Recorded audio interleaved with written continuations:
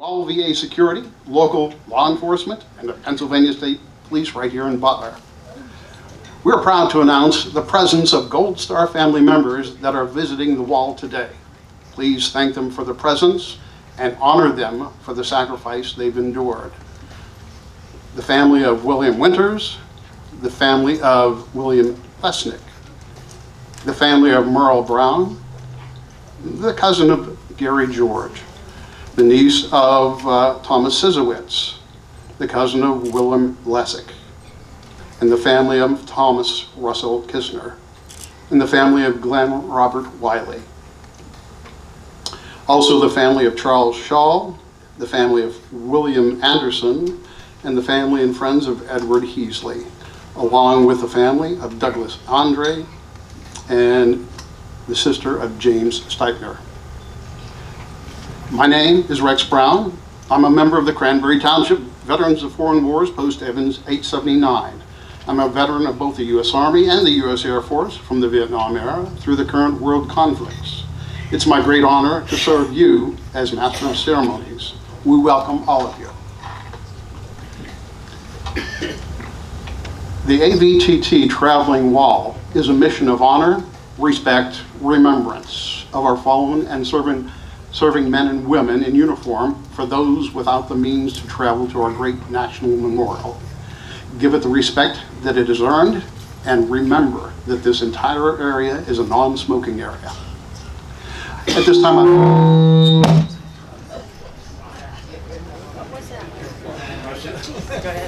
Coming at this time,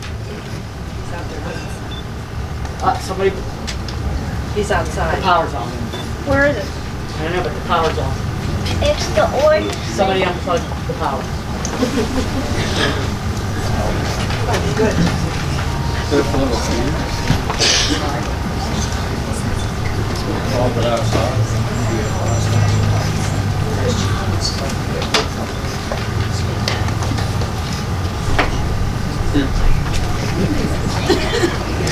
It's fine. It's fine. I wanted, I wanted to hear myself sing anyway. You are on her Is this switch I on? look at how to say, turn off? Yeah. Turn off. There's no power. Why? I you know. It is. Right, so is it on now?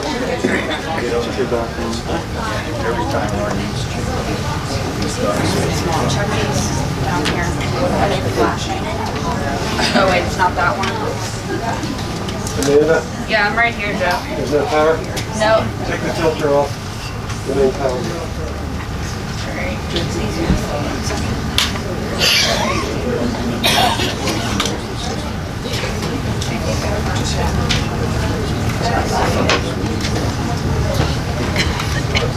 It's fine. It's not the first time I sing this with there. It's fine. I don't mean like, I'm really loud. Like, really loud.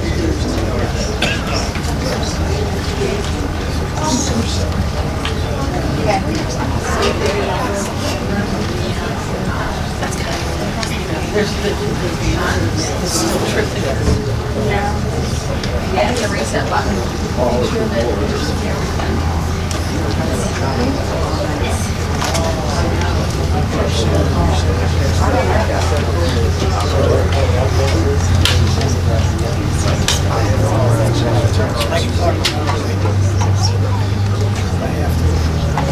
It's nothing here. It's, it's, It's the power here. Power here. I don't know why. is everything off? I don't know. Is that off now, Jeffrey? It's off? Yeah, I've hit it twice now, Jeff. You give me all my information. Unless mom gets. Yeah,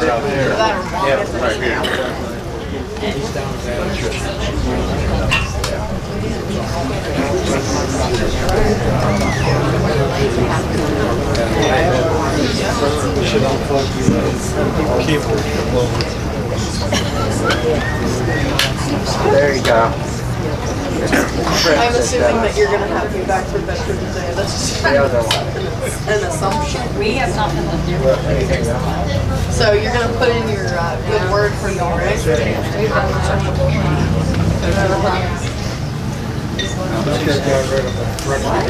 This one? I didn't, I didn't know. Power share. Power, you got power, power share, the GFI.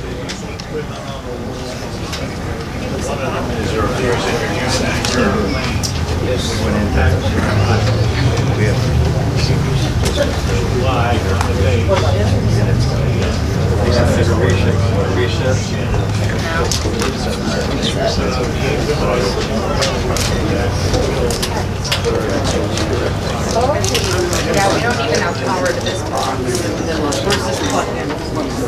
This is named. If that's not showing any. The filter.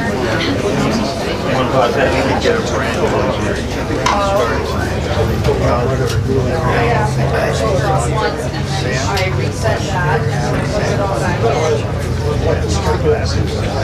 in.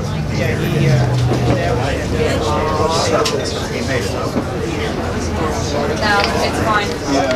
It blew our filter. Yes. Well, the filter wasn't gonna do the equipment. I don't know. All right, we're ready. Listen, Dad came in during the musical he. Let's try this again. Slight technical uh, difficulty. I'd like to talk to you tonight about some facts about the wall. A Vietnam veteran came up with the idea of the memorial. Jan Scruggs was an infantry corporal who wanted to place a place to commemorate all those who served and sacrificed their lives in Vietnam. The wall was designed by a college student. Her name, Maya Ying Lin, and she was an undergraduate uh, at the Yale at the time. There were more than 1,400 entries submitted to a national design competition, and a panel of eight anonymous judges chose Lin's design. It took less than eight months to build the memorial. The groundbreaking took place on March 26, 1982, and the wall, uh, wall's ground, and was completed in late October and dedicated November 13, 1982. The wall is made of black granite from Bangalore, India. The country is one of only three in the world, Sweden and South Africa are the other two, where you can get such a large amount of black granite. No federal funds were needed to create this memorial. The Vietnam Veterans Memorial Fund raised nearly $9 million through private contributions and corporations, foundations, unions, veterans, and civic organizations. More than 275,000 individual Americans also con- contributed. There are currently 58,479 names listed on the wall. The names are listed chronologically by date of casualty. More than half of the people listed on the wall are under 22. The largest age group is made up of 19-year-olds. The names of eight women appear on the wall, and they nursed the wounded. The number killed on their first day in Vietnam was 997. By comparison, 1,448 soldiers were killed on their last day in Vietnam. The state with the highest casualty rate per capita belongs to West Virginia. The names of 711 West Virginians appear on the wall.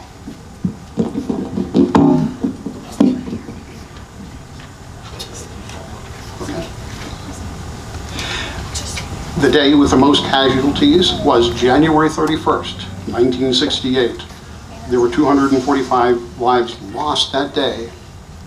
This was the first day of the Tet Offensive.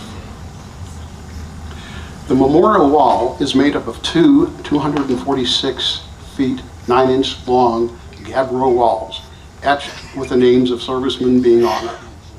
The walls are sunken into the ground with earth behind them. At the highest tip of the apex, where they meet, they are 10 feet 1 inch high and taper to a height of 8 inches at their extremities. Symbolically, this is described as a wound that is closed and healing.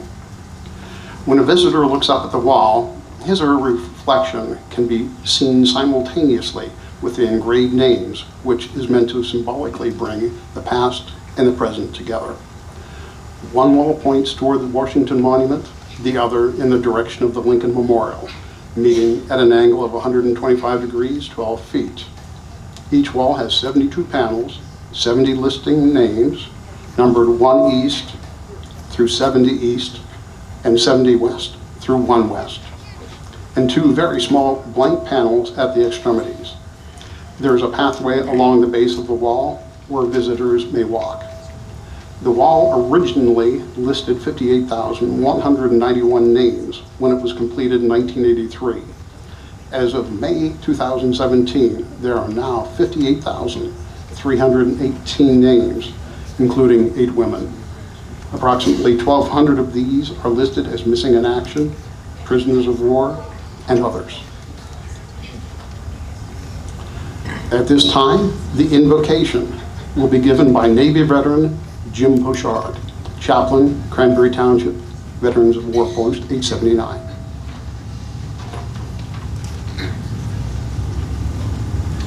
uncover.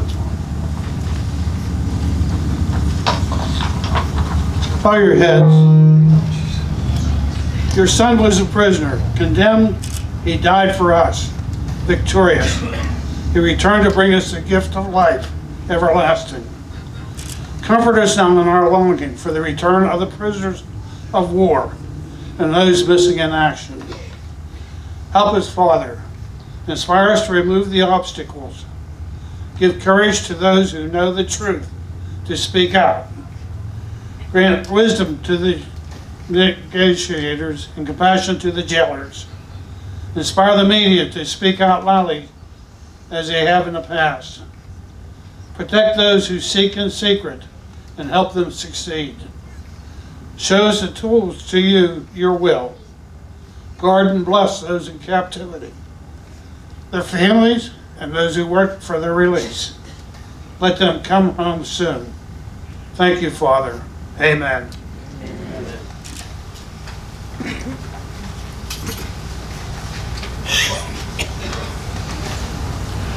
Let us now honor our flag and our country with the Pledge of Allegiance. All rise.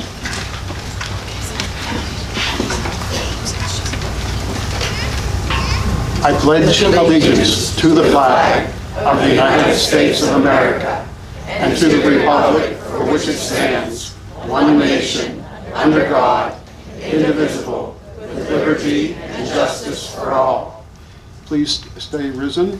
Uh, to sing the Star Spangled Banner, I'm very pleased to present Hannah Bossinger. Oh, say, can you see by the dawn's early light what so proudly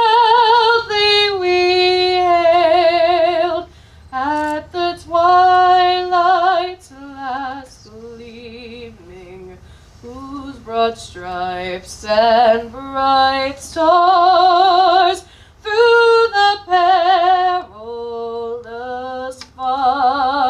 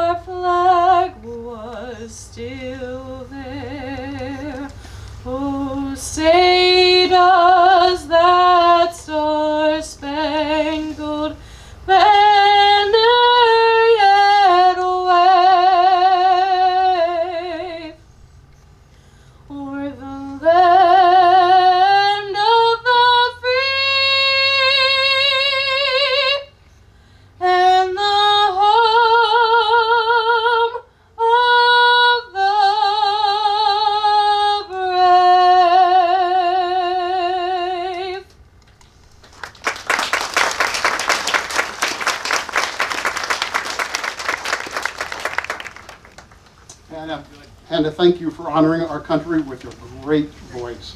Please be seated.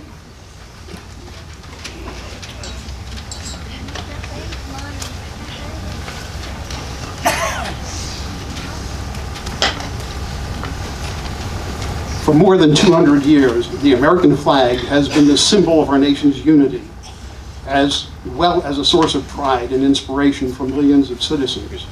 Born on June 14, 1777, the Second Continental Congress determined that the flag of the United States be 13 stripes, alternating between seven red and six white, and that the Union be 13 stars, while in a blue field representing a new uh, constellation. Between 1777 and 1960, the shape and design of the flag evolved into the flag presented before you today. The 13 horizontal stripes represent the original 13 colonies, while the stars represent the 50 states of the Union. The colors of the flag are symbolic as well. Red symbolizes hardiness and valor. White signifies purity and innocence, and blue represents vigilance, perseverance, and justice. Traditionally, a symbol of liberty, the American flag has carried the message of freedom and inspired Americans both at home and abroad. In 1814, Francis Scott Key was so moved at seeing the stars and stripes waving after the British shelling of Baltimore's Fort McHenry that he wrote the words to the Star Spangled Banner. In 1892, the flag inspired Francis Bellamy to write the Pledge of Allegiance, our most famous flag salute and patriotic oath. In July 1969, the American flag was flown in space when Neil Armstrong planted it on the surface of the moon. Today, our flag flies on military vehicles and satellites that circle our globe. Indeed, it flies in the hearts of every soldier, sailor, and airman and marine. Since 1770, since 1776, since 1776, no generation of Americans has been spared the responsibility of defending freedom. Today, those who serve remain committed to preserving the freedom that others won for generations to come. By displaying the flag and giving it a distinctive fold, we show respect to the flag and express our gratitude to those individuals who fought and can continue to fight for freedom at home and abroad. Since the dawn of the 20th century, soldiers, sail- sailors, airmen, and Marines have proudly flown the flag in every major conflict on the land and skies around the world. It's their responsibility, our responsibility, to continue to protect and preserve the rights, privileges, and freedoms that we as Americans enjoy today. The United States flag represents who we are. It stands for the freedom we all share and the pride and patriotism we feel for our country. We cherish its legacy and as a beacon of hope to one and all, long may it wave. At this, at this time, we're going to introduce you to the flag folding ceremony.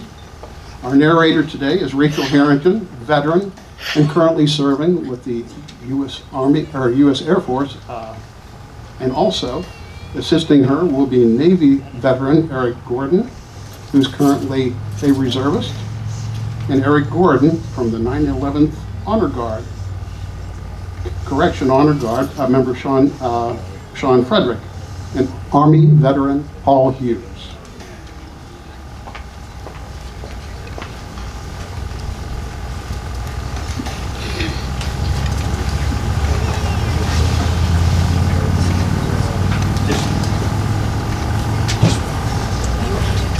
The flag folding ceremony represents the same religious principles on which our country was originally founded.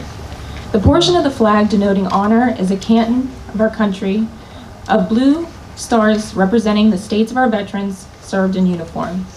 The canton of blue field of dresses from left to right and inverted when draped as a pall on a casket of a veteran who served our country in uniform.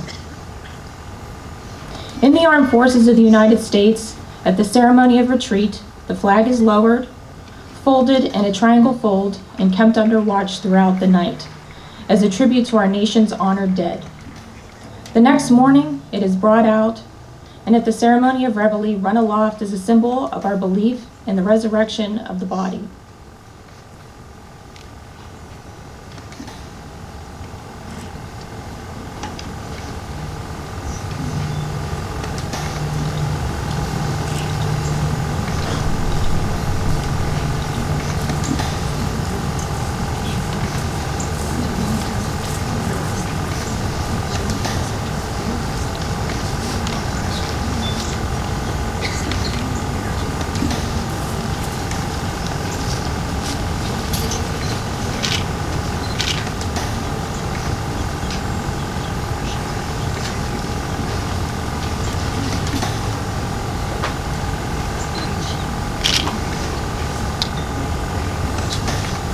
The first fold of our flag is a symbol of life. The second fold is a symbol of our belief in eternal life. The third fold is made in honor and remem- remembrance of the veterans departing our ranks who gave a portion of their life for the defense of our country to attain a peace throughout the world. The fourth fold represents our weaker nature.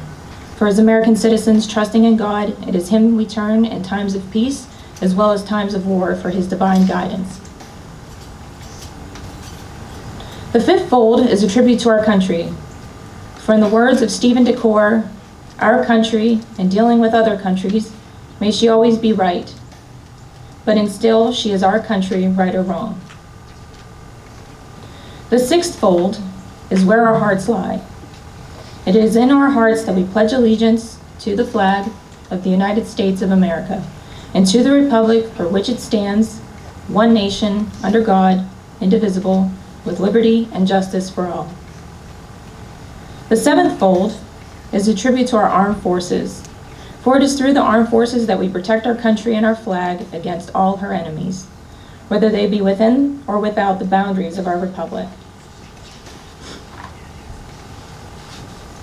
The eighth fold is a tribute to the one who entered in the valley of the shadow of death, that we might see the light of day, and honor to the mother for whom it flies on Mother's Day. The ninth fold is a tribute to womanhood, for it has been through their eyes, love, faith, loyalty, and devotion that the character of the men and women who have made this country great have been molded. The tenth fold is a tribute to the Father, for he too has given his sons and daughters for the defense of our country since the day they were born. The eleventh fold, in the eyes of a Hebrew citizen, represents the lower portion of the seal of King David and King Solomon and glorifies in their eyes the God of Abraham, Isaac, and Jacob. The twelfth fold, in the eyes of a Christian citizen, represents an emblem of eternity and glorifies in their eyes God the Father, the Son, and Holy Spirit. When the flag is completely folded, the stars are uppermost, reminding us of our nation, national motto In God we trust.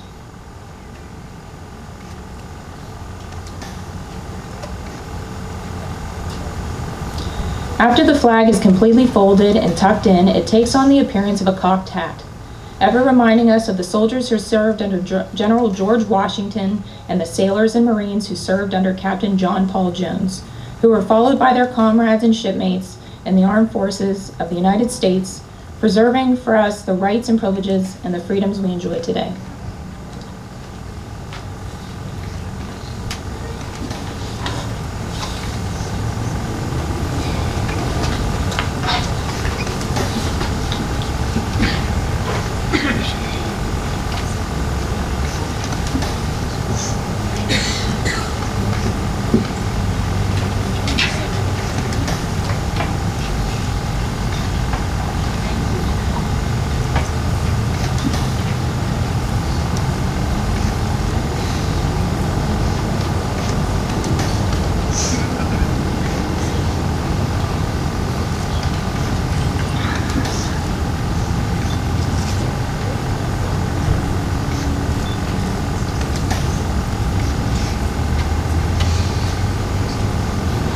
In 19, in 1971, Mrs. Michael Hoff, the wife of a U.S. military officer listed as missing in action during the Vietnam War, developed the idea for a national flag to remind every American of the United U.S. service members whose fates were never accounted for during the war. The black and white image of a gaunt silhouette, a strand of barbed wire, and an ominous watchtower was designed by Newt Heisley, a former World War II pilot. Some claim the silhouette is a profile of Heisley's son, who had contracted hepatitis while training to go to Vietnam. The virus ravaged his body, leaving his features hollow and emaciated. They suggested that while uh, staring at his son's sunken features, Heisley saw the stark image of an American service member's held captive under harsh conditions. Using a pencil, he sketched his son's profile, creating the basis for a symbol that would come to have a powerful impact on the national conscience. By the end of the Vietnam War, more than 2,500 service members were listed by the Department of Defense as prisoners of war or missing in action. In 1979, as families of the missing pressed for full accountability, Congress and the President proclaimed the first National POW MIA Recognition Day to acknowledge the family's concerns and symbolize the steadfast resolve of the American people to never forget the men and women who gave up their freedom protecting ours. Three years later, in 1982, the POW MIA flag became the only became the only flag other than the Stars and Stripes to fly over the White House in Washington, D.C. At this time, Rachel Harrington, veteran U.S. Air Force, will narrate the POW table ceremony. Army veteran Lee Buckley and, and uh, Chuck Lewis, veteran U.S. Navy and Air Force, will assist.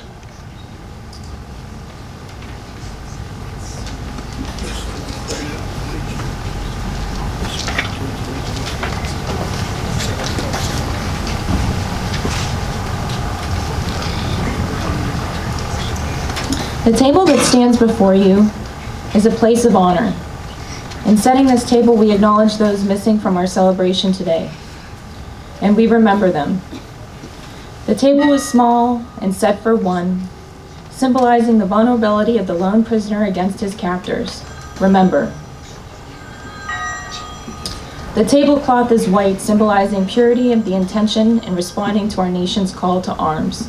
Remember. The chair is empty, for there is no one there. Remember. The wine glass is inverted. They cannot toast with us this night. Remember. The slices of lemon, reminding us of their bitter suffering. Remember. The grains of salt, representing the countless tears of the families. Remember. The single red rose reminding us of the loved ones who kept the faith, awaiting their return. Remember.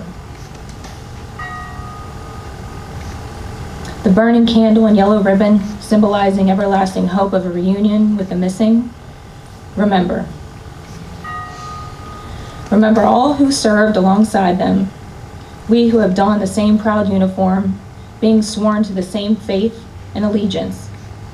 We will never forget their sacrifice remember. Remember until the day they return home or find eternal peace, we will remember.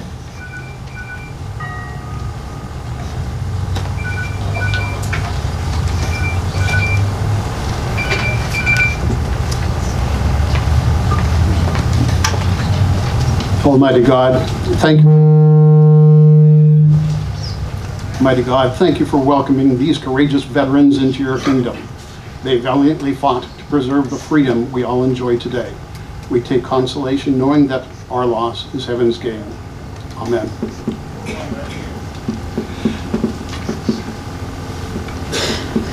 Today, we're honored to have Gus Pagonis, Lieutenant General, retired, veteran, United States Army, as our guest speaker. Gus grew up in Charleroi, and upon completion of his studies at Penn State, he received his commission as a second lieutenant through ROTC. From there, completing his officer basic and advanced courses, and also the U.S. Army Command General Staff College and Naval War College. During his military career, Gus held many command and staff positions. His most notable was commanding general for the 22nd Support Command in Saudi Arabia. As Director of Logistics during Desert Storm, he received high praise from General Norman Schwarzkopf for his tireless efforts and logistical prowess. As a young captain during the Tet Offensive of 1968, he and his command faced heavy, heavy enemy fire to rescue soldiers whose boat was stuck in the water. Decades later, he was awarded the Silver Star for his bravery. Gus retired from the military after nearly 30 years of service and began his second career. Gus and his wife Sherry have sons Gus and Robert. Gus and Sherry reside in the Evans City area. With great patriotic pride, I'm honored to present our speaker, Gus Pagonis.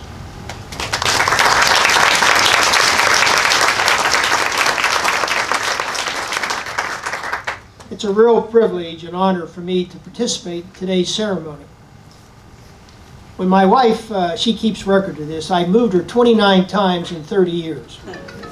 And I try to get her a book to change it, but uh, she holds on to it and holds me captive. When we got out of the Army, we went to Sears, and I worked at the Sears headquarters for a few years, and we decided we were going to come back to Western Pennsylvania. She's from Indiana, Pennsylvania, and I'm from Charleroi, and we decided to settle somewhere in the middle. Out of nowhere, in checking my parents' records, my mother was born in Butler. Why in the world she was born in Butler since she lived in Aliquippa, I never have figured out. Either they were visiting friends and her, her, my, her mother decided to deliver, but we said, well, let's go to Butler area. So that's how we ended up coming back to the Butler area. Uh, when I graduated from Penn State, uh, I got commissioned in the morning, graduated, and got married all on the same day. And we, and that's, it's very easy to keep my dates straight on anniversaries. It was also Flag Day. So I never forget our anniversary. We've been married 53 years, and I probably have only spent 20 of them with her because I was always deployed or somewhere working on the 14th of June. Both my sons joined the service. Uh, one became retired as a colonel. He now lives in the Butler area. And my other son, who my wife affectionately calls the real soldier, was an enlisted man who served in the 82nd Airborne, made over 150 jumps, and served three years, got out, used the GI Bill. Western Pennsylvania has a great heritage for the military and the representation of this award, this ceremony has been taking place for the last three days is indicative of that. But I gotta tell you a true story. A lot of people say, you know, generals, how do you stay from getting big-headed or get egotistical? Well, when you're from Pennsylvania, you don't have to worry about it. Every war has certain things. The Vietnam War had a lot of music. The first Gulf War in 1990, every soldier, airman, sailor, and marine wanted to have their picture taken with a general officer. It was the fad of the time. General Schwarzkopf would visit me every week. And the first thing he would talk to me about was, are the troops eating? Are they getting showers? Then he would talk about the ammunition and all the other things you need to fight a war. That's the type of commander he was. And all the troops would line up to have their picture taken with General Schwarzkopf or have him autograph their helmet. Well, one day he came and there was like two, three hundred soldiers and Marines in line, and he would stay there. Although his staff would keep telling him, "You got to leave, you got to leave," he would stay there until he saw every soldier, shook every soldier's hand. And I, this one visit, there was about 300 people in his line, and I was standing, oh, maybe 50 feet off to the left. And this young soldier walks up to me and says, General, can I get my picture taken with you? And I said, sure. He said, yeah, I'm from Western Pennsylvania. I said, oh, I'm from Charleroi. He says, yeah, I'm from Pittsburgh. I said, okay, let's have our picture. I said, but wouldn't you rather have your picture taken with General Schwarzkopf? And this young PFC, about 19 years old, looked me in the eye and said, yes, sir, but your line's a lot shorter. Now that actually happened, I, it's kind of hard to think the three-star general was that important when a young kid from Pittsburgh tells it to you like it is. You know, we're honoring men and women who maybe didn't have the parades and all the things that we now do for our young men and women. And by the way, soldiers are all 18, 19, and 20. It's only in the movies you see all these older people. That statistic, he uh, said about 33,000 of the names on this wall are 22 years or younger.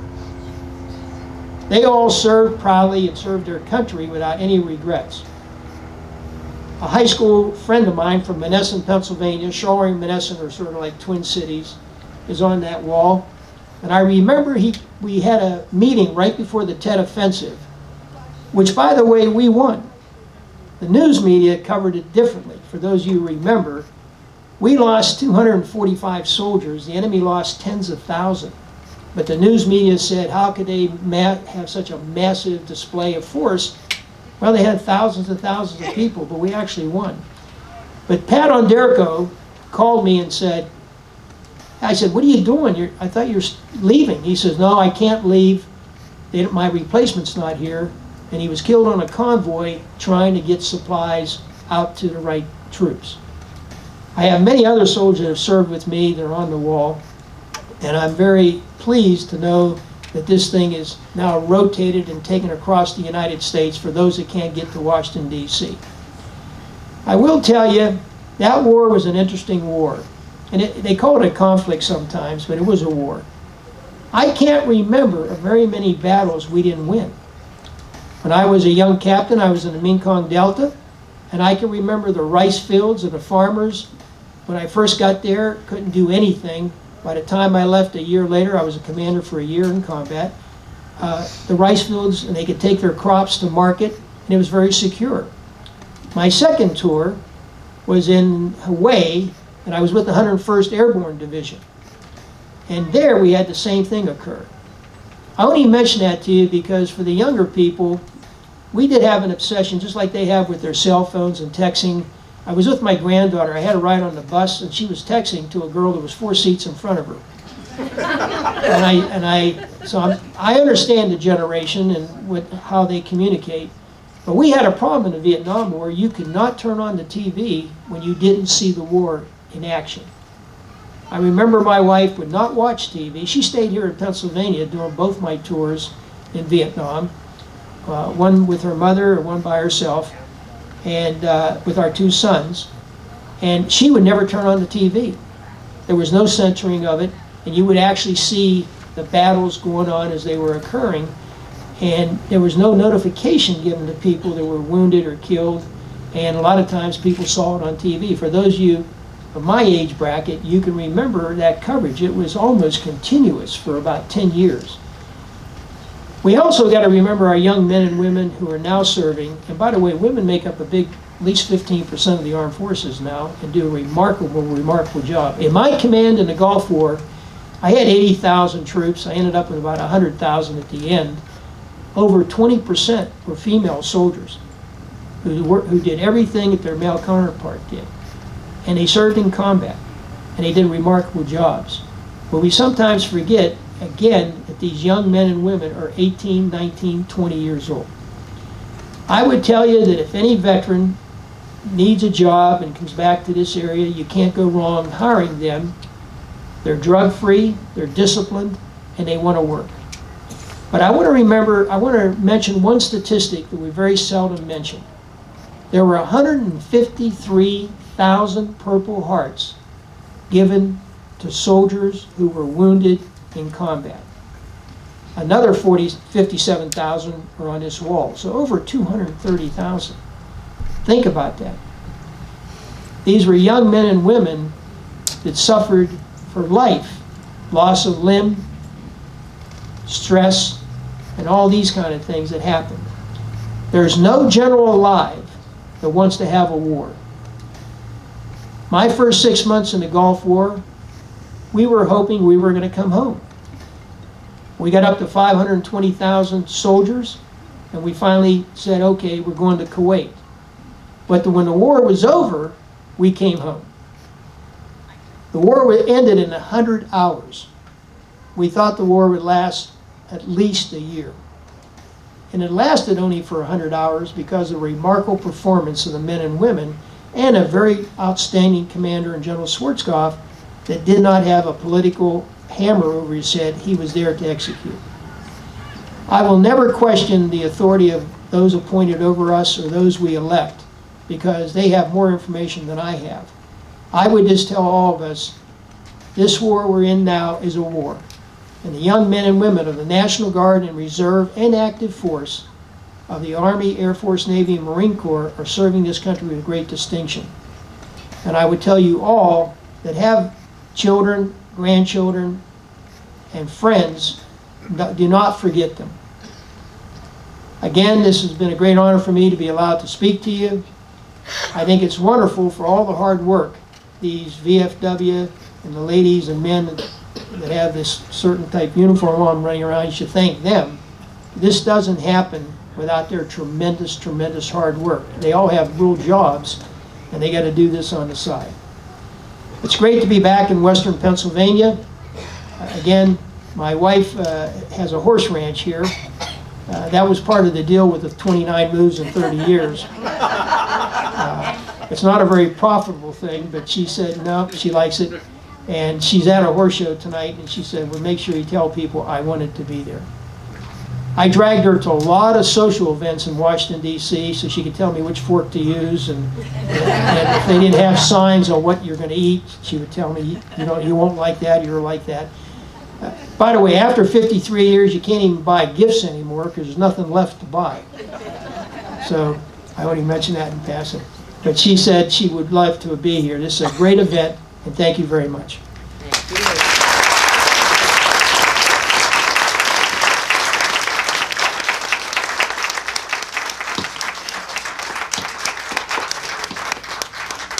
Thanks, Gus, for being with us today, for your excellent remarks and your outstanding service to our country. At this time, we're going to remember the 43 young soldiers killed in action during Vietnam. Vietnam veteran and Purple Heart recipient Bob Johnson will now read the names of the 43 Butler County soldiers killed in action. He'll be assisted by Chuck Lewis.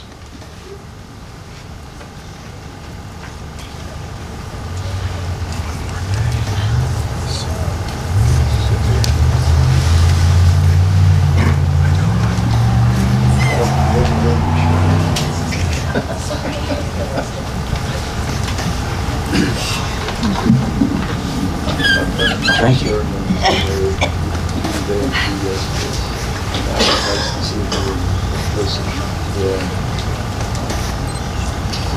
Okay, first of the 43 is Thomas Eugene Sezowitz. Number two is Douglas Vernon Andre.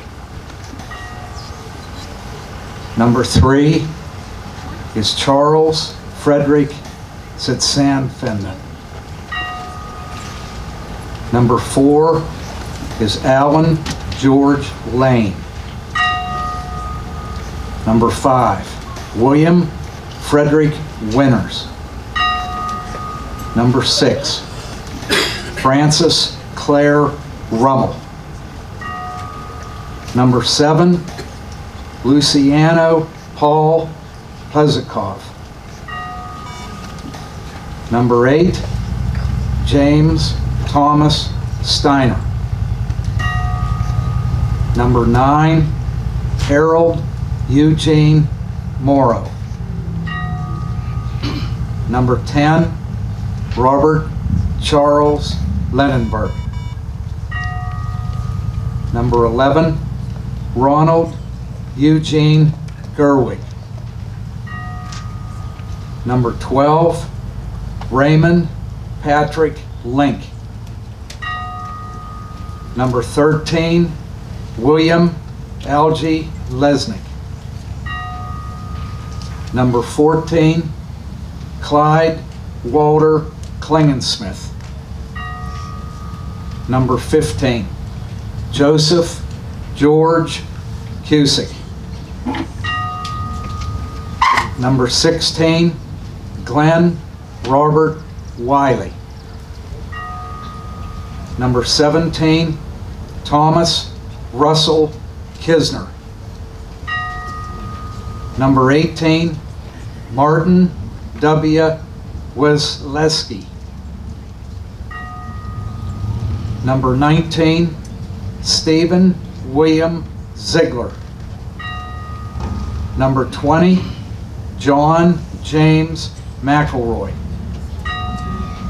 Number 21, Paul Stasco Jr. Number 22, Joseph Clarence Doyle. Number 23, Gary Dwayne Reed. Number 24, Walter Anthony Siskansky.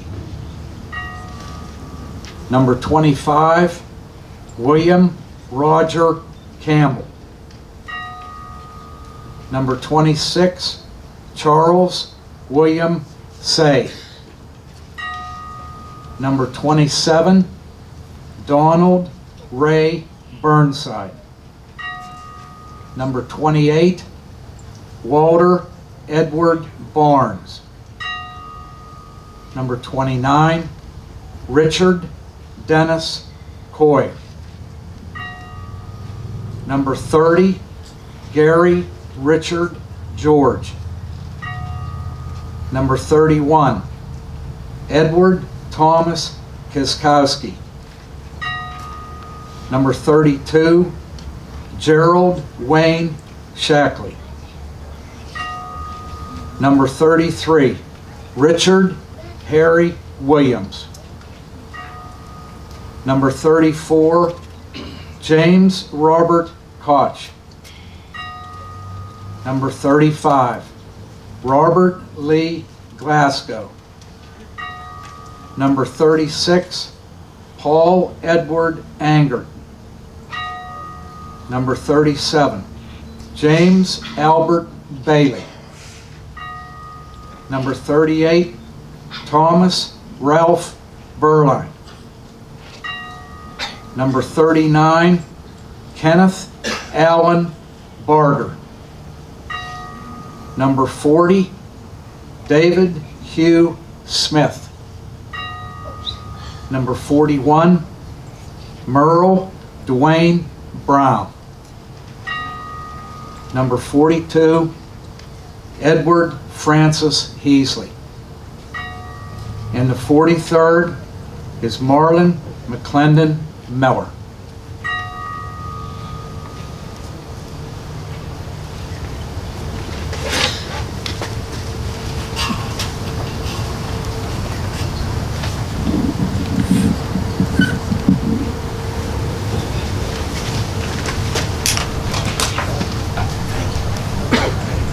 Few minutes, we'll begin our candlelight service. We are honored to have with us this evening one of the Butler County's premier vocal groups, the Axe Choir. The Axe Choir. This diverse group of musicians comes from a wide range of ages, talents, and backgrounds.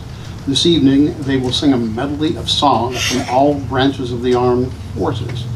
As you arrived tonight, or this evening, you may have uh, been presented with some glow sticks. If not, there will be some presented Uh, to you. At this time, would you please proceed to the front of the wall? As you proceed, please enjoy the stirring medley of songs performed by the Axe Choir.